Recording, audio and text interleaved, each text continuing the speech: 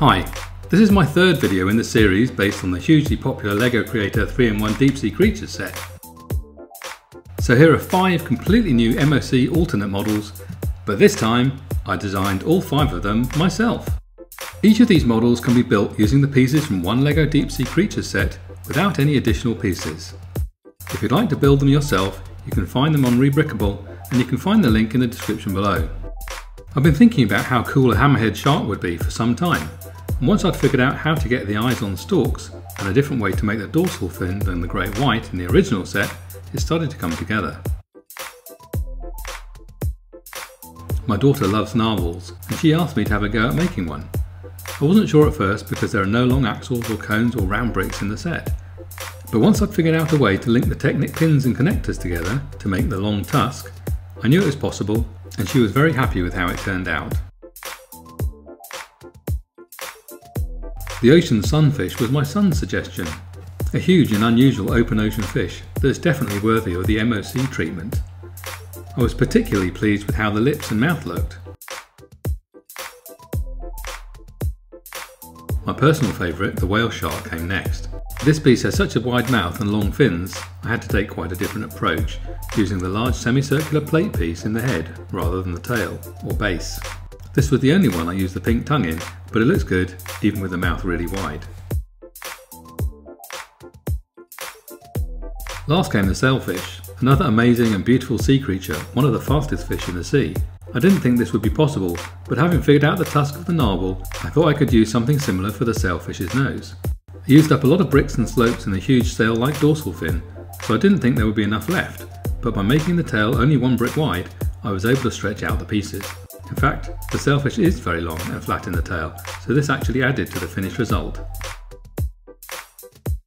Let's take a look at the digital build of the sailfish now. So sit back and watch the design emerge. Enjoy!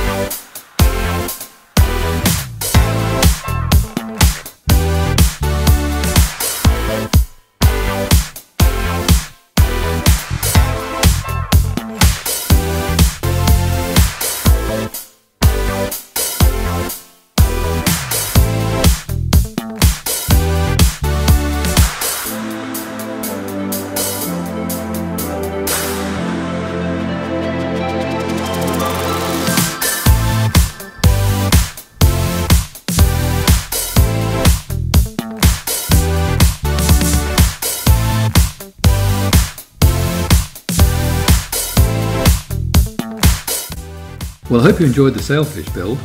If you'd like to build it, or any of the other new deep sea creature alts here, you can find the instructions at Rebrickable. Just follow the link below.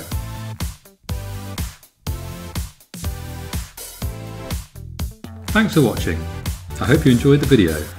You made it this far, so why not leave a comment or give us a like. Click here to see more digital LEGO 3-in-1 creator builds, or here if you'd like to learn how to build LEGO digitally. And don't forget to subscribe to Bricksmart Workshop if you'd like to see whatever we come up with next. See you soon!